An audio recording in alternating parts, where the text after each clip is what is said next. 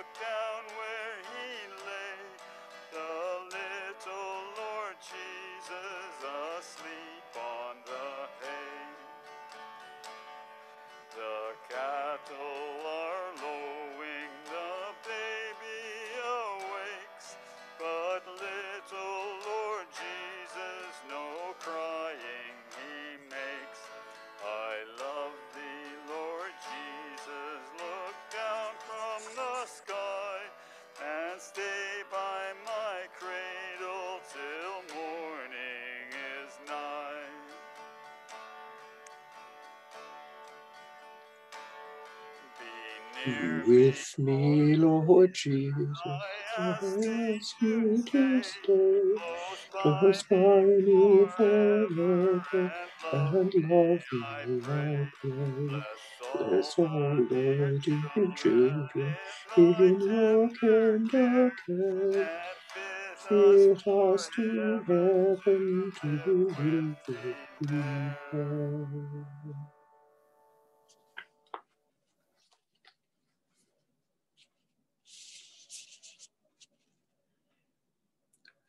Let us pray. God of grace and glory, we praise you from the heights and from the depths, in the heavens, on earth, and from the seas, in the courts of power and from the sidewalks of our lives. Your splendor shines from a manger where the light of the world was born to pierce the darkness. In fragile flesh, you are revealed to us face to face. And so we gather with all people in every place who have glimpsed your salvation and grace to rejoice in your love born for us.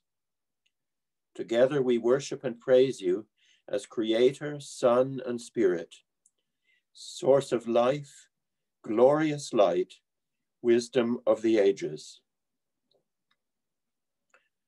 Source of all hope, you invite us to live in the light and discover the splendor of your glory. We confess how we often choose to remain in the darkness instead. We allow our fears and hurts to hold us hostage. Our expectations of life prevent us from seeing new and real possibilities. You offer us unconditional love, but we expect others to earn our love. Forgive us. May the new life born in the manger awaken new life in us and allow hope to dawn in the year ahead. Psalm 148 Praise the Lord. Praise the Lord from the heavens. Praise the Lord in the heights. Praise the Lord, all you angels. Praise the Lord, all the host of heaven. Praise the Lord, sun and moon. Praise the Lord, all you shining stars. Praise the Lord, you highest heavens, and you waters above the heavens. Let them praise the name of the Lord, who commanded and they were created who established them forever and ever and fixed their bounds, which cannot be passed. Praise the Lord from the earth, you sea monsters and all deeps, fire and hail, snow and frost, stormy wind fulfilling God's command, mountains and all hills, fruit trees and all cedars, wild animals and all cattle, creeping things and flying birds rulers of the earth and all peoples, leaders and all judges of the earth, young men and women alike, old and young together. Let them praise the name of the Lord, whose name alone is exalted, whose glory is above earth and heaven. The Lord has raised up a horn for the people, praise for all the people, all the faithful, for the people of Israel who are close to their God. Praise the Lord.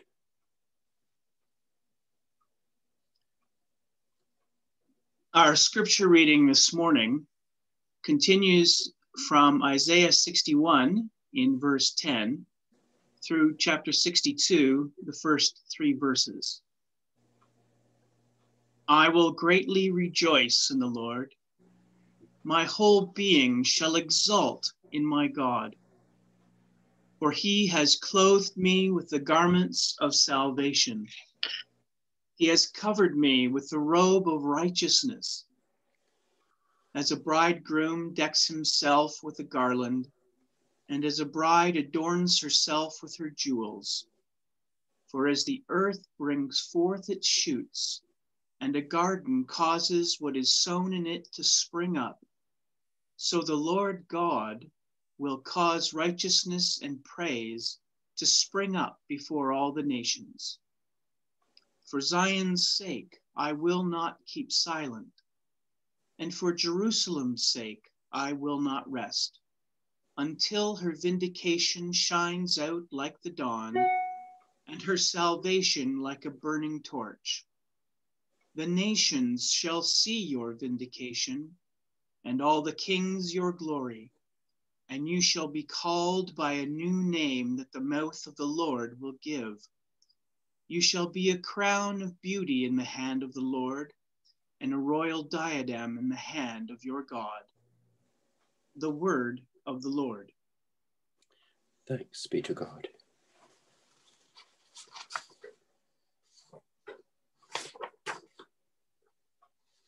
So, as I set up for the service this morning or the sermon, I'm going to try to share my screen.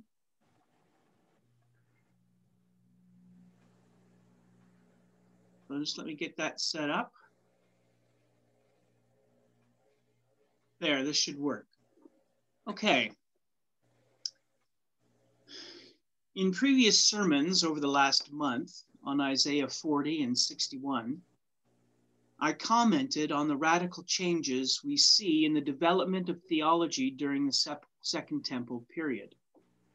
Second and third Isaiah explore the ways in which God is present in the community.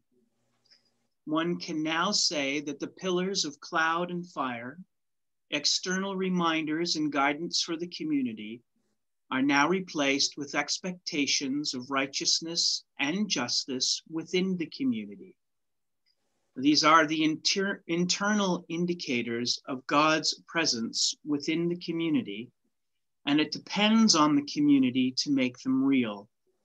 And it is these, these pillars of justice and righteousness that draw attention to and distinguish God's people. On this first Sunday of Christmas, which also coincides with the second or third day of Christmas, depending on how you count, we read from Isaiah again at the end of chapter 61 into those first few verses of chapter 62. During this season of gift giving, Isaiah reminds us that the community will greatly rejoice. Our whole being will exult because of the amazing gifts the Lord has given the community. These are found as the Lord's presence, new clothing, and a new identity. And with such gifts, we have a new partnership with the Lord and a renewed responsibility. The community is not abandoned, desolate, or forsaken. How does the community come to know and remember that the Lord is present? It knows because there are words of comfort being proclaimed. As we heard three weeks ago at the beginning of second Isaiah's message, comfort, comfort my people, proclaim the year of the Lord's favor.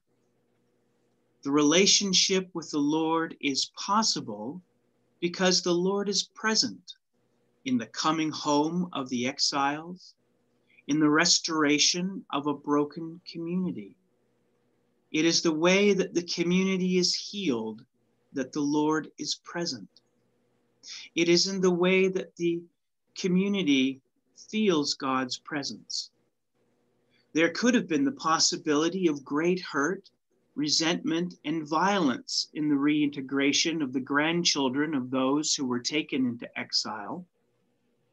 However, the presence of the Lord means that healing is possible, restoration is real, and the conditions of restoration and healing have been made possible so that those who know us understand that it is the pillars of justice and righteousness that distinguishes the Lord's people from all others.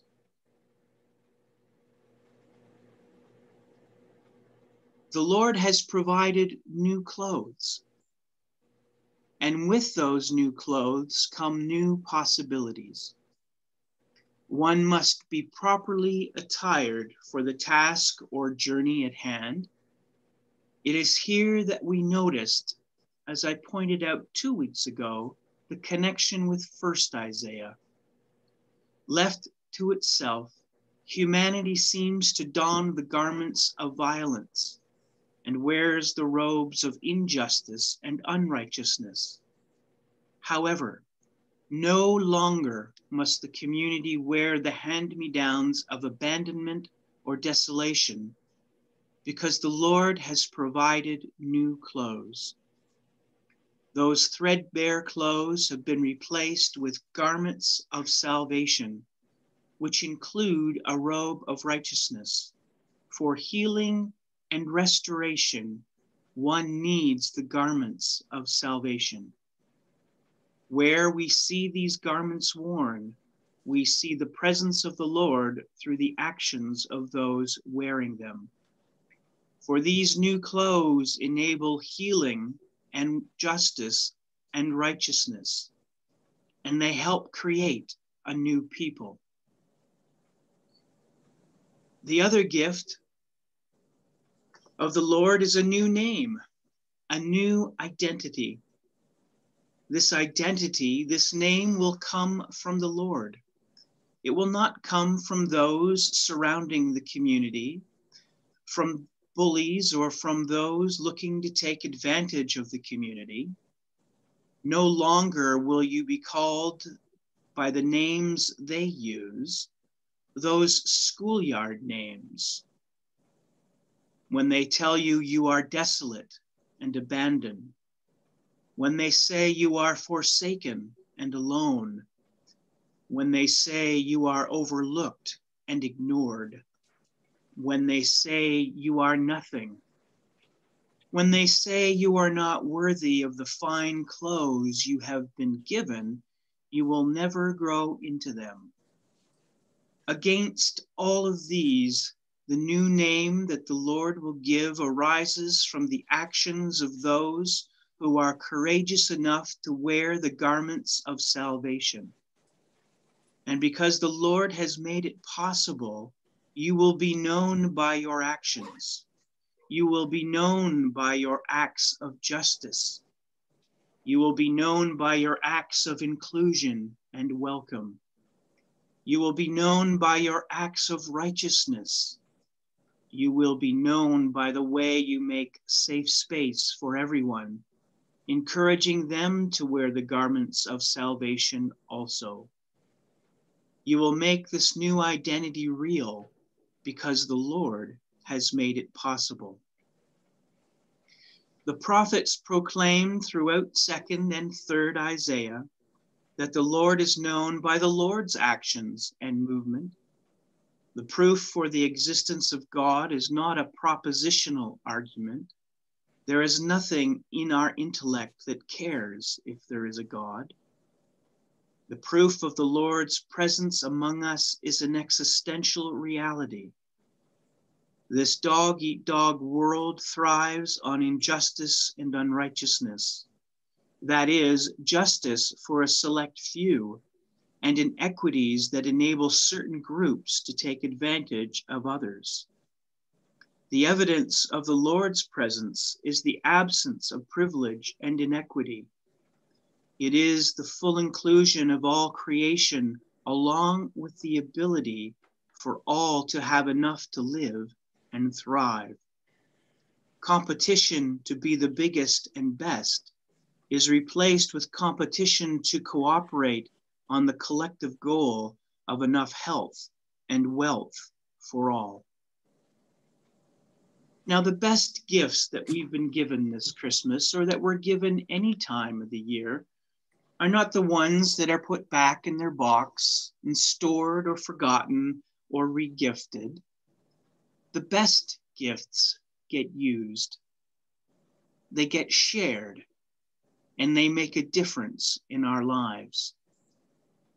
The Gospel of John tells us that Jesus was a gift from God, that God so loved the world that he gave his only Son as we are reminded in Isaiah, there is a humanity that God is still waiting to see emerge and blossom.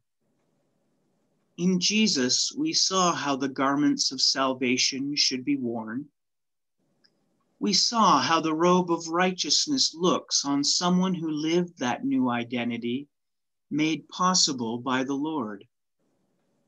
In Jesus, those gifts are still offered to us. As the Lord is known by the Lord's actions, so too are the Lord's people known by their actions. Let us don these gifts, these garments of salvation, and let our humanity emerge and blossom so that our new identity, our new role as God's children truly emerges. Amen.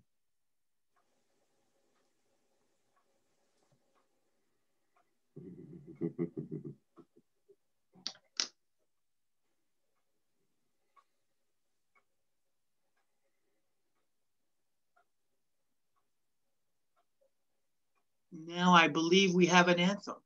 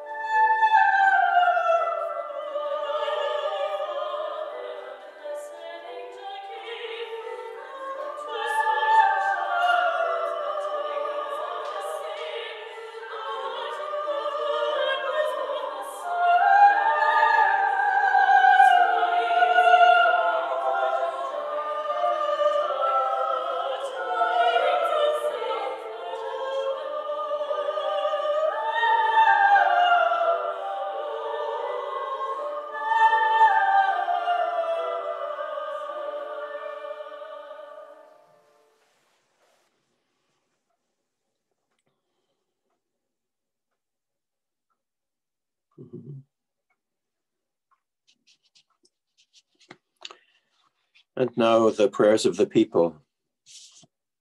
Let us pray. God of love, as we celebrate the birth and life of Jesus, our Savior, we are filled with thanks. Our gratitude overflows in prayers for our world, the world you love. We pray for all children. Guard their minds, protect their bodies, strengthen their characters, and give them joy. Help them to look to the future with hope and trust. We pray for the most aged among us, those whom Simeon and Anna bring to mind. Protect them in the midst of the ongoing pandemic and reassure them of their value to you and to us, even when we cannot meet together. We pray for those whose hearts are filled with pain and fear. We pray for those for whom Christmas is linked with loss or grief. Surround each one with a strong sense of your comforting presence. We pray for those who do not have enough to eat and for those who lack adequate shelter in our community and in desperate corners of the world. For those who eat alone without the comfort of human contact and for those whose hearts and lives have been broken by trauma and loss, and for those who struggle with the many costs of the pandemic. Surround each one with a strong sense of your comforting presence. We pray for family members and friends, those nearby, and those we could not meet with the, the, this year Remind them of our steadfast love. And to any who are struggling this season, O God, give your gift of peace. As the year draws to a close, we surrender to you, O God, the challenges it has held for us, so that they will not remain as burdens. Remind us of the good things that have offered us encouragement in times of isolation we give you thanks for the people who continue to care for us and care about us. Give us courage and wisdom for the year ahead. We pray that our leaders will have wisdom and generosity of spirit for the decisions they must make on our behalf.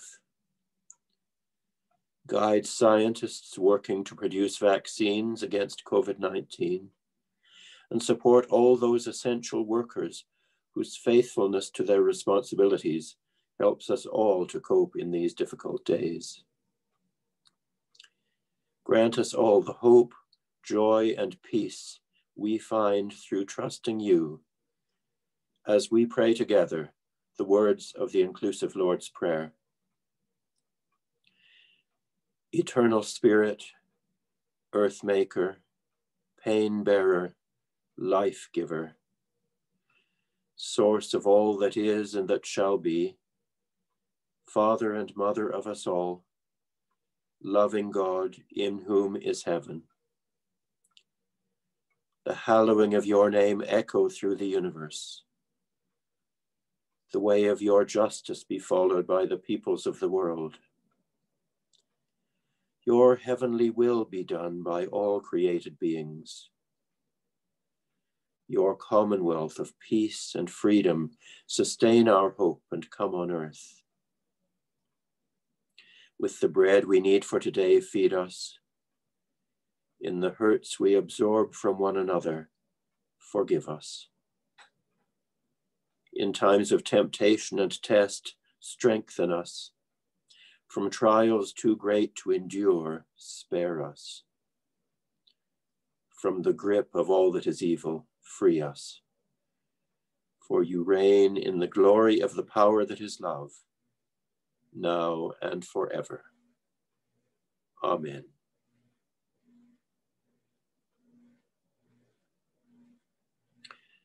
And now with Suho and Subin, we can sing O Little Town of Bethlehem.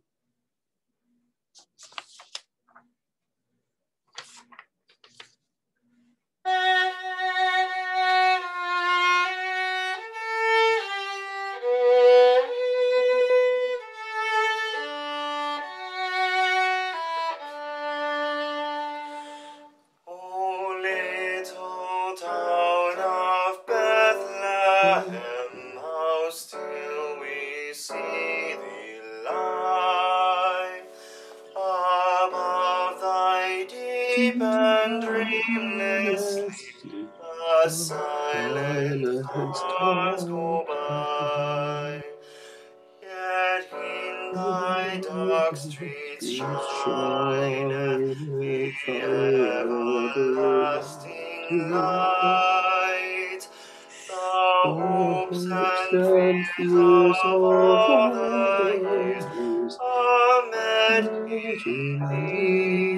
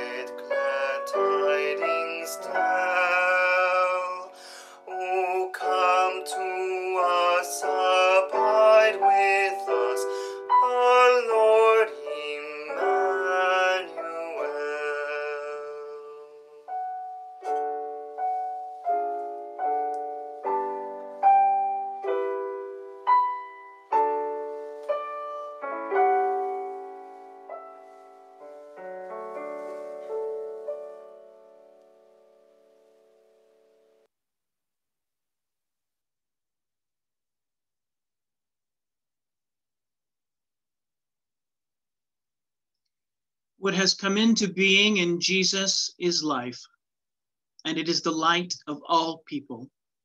That light shines in the darkness, and the darkness cannot overcome it. Amen.